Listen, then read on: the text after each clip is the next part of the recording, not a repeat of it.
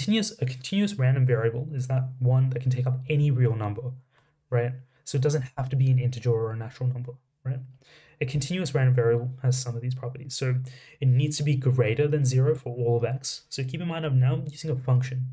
It's a bit strange, right? But we'll sort of see why a function makes more sense than what we saw earlier. So the probability must be, what this simply says is that the probability must be greater than zero for all x possibilities, right? Which is just stock standard for probability. Um, the area enclosed by the graph and the x-axis must be equal to 1, right? So that's taking an integral from um, from a to b of f of x minus 0 d of x must be equal to 1. It's more accurate actually to write infinity in both of these. So negative infinity to infinity. So for the full length of that function, the area enclosed must be equal to 1. Okay? Um, and so, you know, that's sort of represented here. If I, if I want to work out um, between two particular areas, um, I need to work out the integral, right? Um, so the probability of x is less than, less than a is also equal to the probability of x is greater than or equal to a. Oh, wait, less than or equal to a, sorry. Um, so here are a couple different variables um, that are um, going to be under a continuous, oh, sorry, that two of them are under a continuous probability like you guys just saw, and one of them isn't. And I'm going to sort of explain why.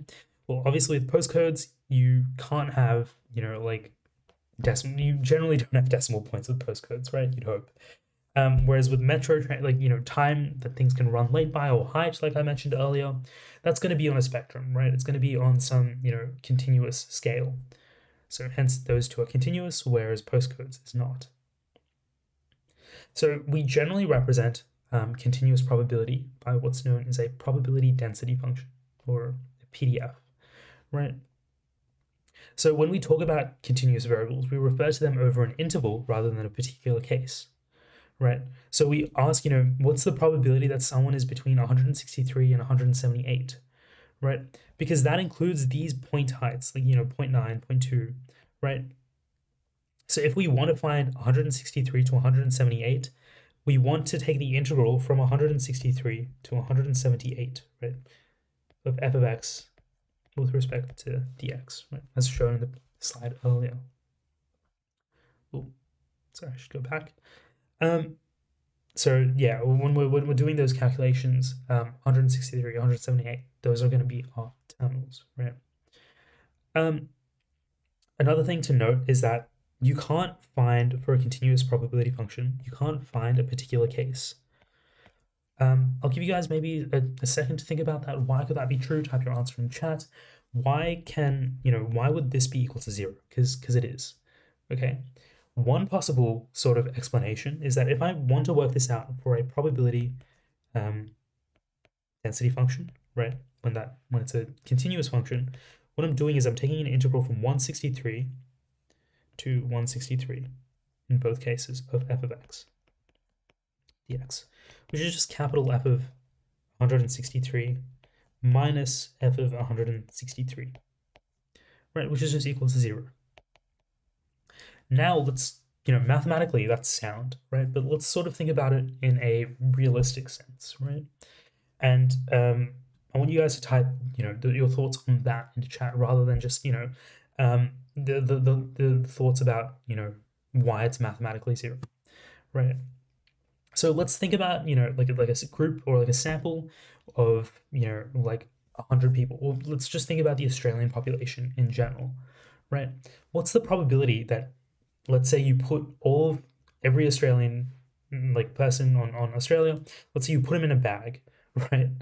Like you, let's say you just have an infinitely large bag, you can put them into a bag, and then you reach your hand in, you grab one of them, and you pull them out what's the probability that they're exactly equal to 163 centimeters? Like, what's the probability that their height is exactly 163 centimeters, right? Super low, impossible, right? In that scale, maybe there's like one, maybe there's one person who's exactly 163 centimeters, but it's out of millions, right? Like, like too many, right? It's it's it's just a it's you know that's just approximately zero, right? So in both, like, you know, mathematically, using the sort of calculations we've been taught, and, you know, using sort of sense and logic, we can sort of see why, you know, with continuous probability, it's really hard to find a particular value that's not equal to zero.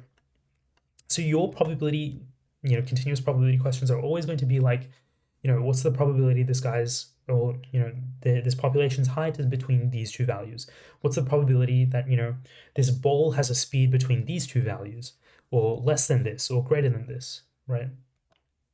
If they ask you a question like what's the probability of x is less than 100 and like less than 100 um, you would do an integral from you know an upper bound of 100 to from negative infinity to an upper bound of 100 right why is it okay to use negative infinity? Sorry, that's not a negative 8. should infinity. Why is it okay to use a negative infinity? Because it's likely your probability density function tapers out at the bottom. Maybe looks a bit like this, right? So from here, you know, which is like about 100, let's say that's 100. And, you know, this just keeps going on and on, and it gets, keeps getting closer to zero, right? Once it's past x is equal to zero, on you know the, the y-axis, it's hit zero, right? Um, but yeah, so if you're doing from negative infinity to 100, you're really only capturing this region, right? Which is which which is like perfectly fine.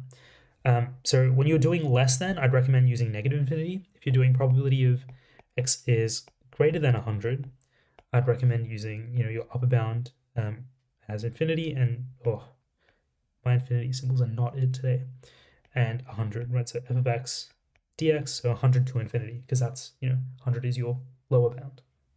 Okay. Um, hopefully that makes some sense.